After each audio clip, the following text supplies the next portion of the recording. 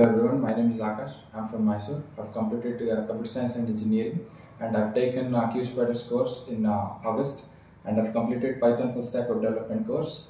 Uh, the presentations and uh, the mock were very helpful for me to get into the company.